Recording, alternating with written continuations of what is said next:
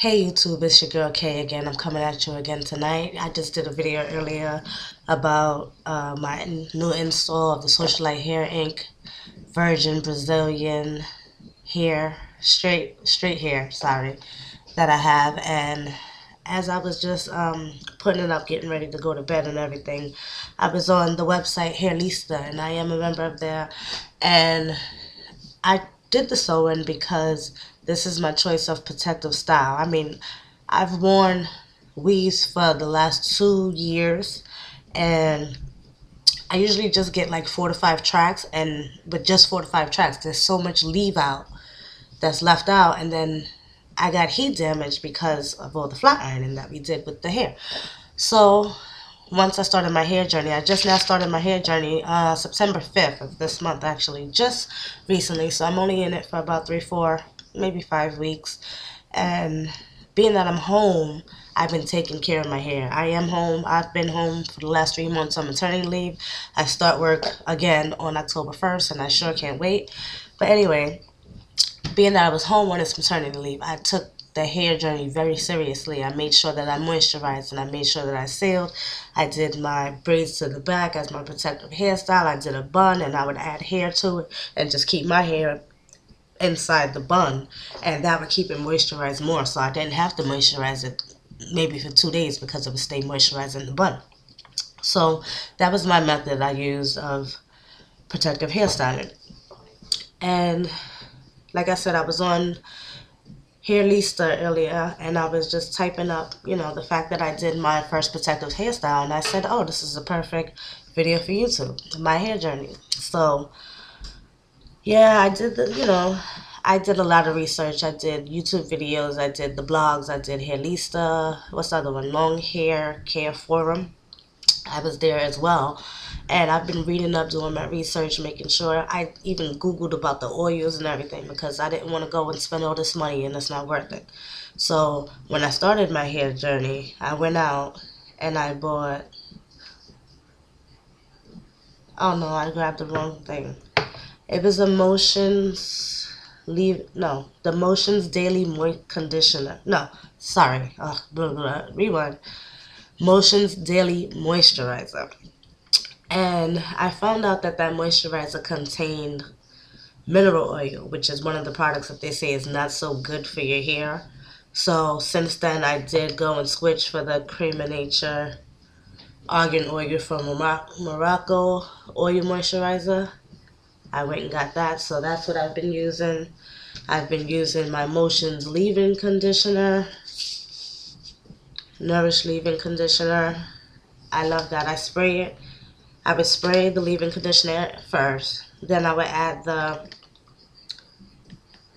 oh Lord, I can't talk. I would add the moisturizer and then I would seal it in with my oils. Now, I bought a little small bottle of olive oil because it was the pure virgin olive oil. And I've since then used that because I would always add it to my conditioner. When I condition my hair when I pre-pooed condition I also added it to um, the ends of the ombre hair yesterday when I did the conditioning then. I used the olive oil a lot. And I also use the Antillean coconut oil because this I can't remember what it's called. I'm sorry, I don't know right now. But you have to use two different kind of oils. One that makes it actually get inside your roots and inside the scalp and make everything and carrier the carrier oil so the coconut oil is the carrier oil that's carrying all the rest of the oils into my scalp and making you know generating the hair growth and maintaining your hair and making it healthier and fuller oh wait I just saw a better light. Sorry, excuse the lighting. Like I said, I just started. I'm using my webcam in my living room. That's why I look crazy. There's nothing on my walls because we just got here not too long ago. And I used to, I had, my old apartment I had decorated, but I got tired of the same pictures. I have new pictures now, but I want new frames. You know, I'm, anyway. And last but not least, actually this tea tree oil. I just bought this tea tree oil when I decided to do the sew-in because tea tree oil, it helps. excuse me, these allergies, oh my gosh.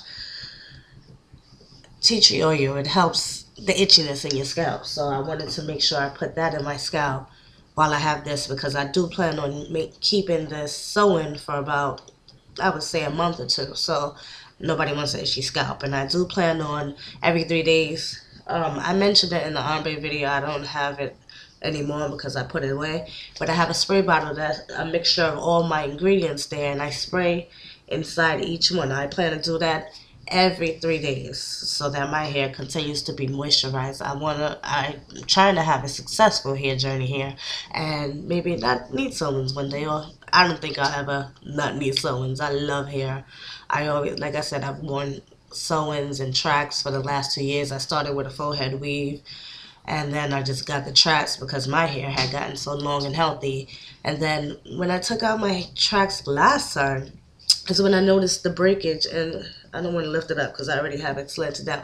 But I had noticed breakage in the middle, and that's from the heat damage. So I was very, very upset. And that's when I started Googling and doing my research and see how to maintain and make your hair healthier. So that was the beginning of my hair journey. Um, I went and I got the Herbal Essences Hello Hydration Shampoo and Conditioner. This one is almost empty, but CVS had them three for ten, so I bought two conditioners because I know I condition with the pre, you know, the pre-poo, and I condition a lot. So, co-wash. I'm sorry, I'm new to this. Sorry about that. I co-wash a lot with the conditioner, and like I said, I added the olive oil and I would co-wash all the time. I would do the overnight deep conditioners. I would, and it was Dr. Miracles. It was so good because it was an intensive tingling. You would feel it. It was beautiful, and that was one of the reasons I want to pick up that peppermint on you because you actually feel it working and you feel like it's actually doing something. And I would always air dry my hair. I didn't even put any heat to my hair until today when I did the flat iron, and it was only just my leave out here. So and even that, I made sure I did the heat protector and everything because, you know, like I said, I am trying to be very successful in my hair journey. So, like I said, I'm only in a, a couple of weeks and so far so good. I'm enjoying this. I love my hair. I'm maintaining my hair. And like I said, I was just getting ready for bed. So, here's my silk scarf. I've had this silk scarf forever and ever and ever. You see the edges are frayed. It's just old and I just won't give it away because it's the best one that I have. I mean, I have so many different ones, blue, black, whatever, but I always come back to my little purple one. It's the smoothest and it just feels so great. And then I'm going to top it off with my little cap here. I'm going to put it on top because I just, I sleep crazy and I want to protect this hair. So, yeah. So that's my hair journey. That's the beginning of my hair journey. I will continue to keep us posted, you know. And if you're having a hair journey, definitely share with me. Let me know. I've watched some videos on the hair journey. So if you do come across this video, you know, comment below. Let me know what's going on. And we can definitely talk. So thanks for watching my video. I'll talk to you guys later. Take care.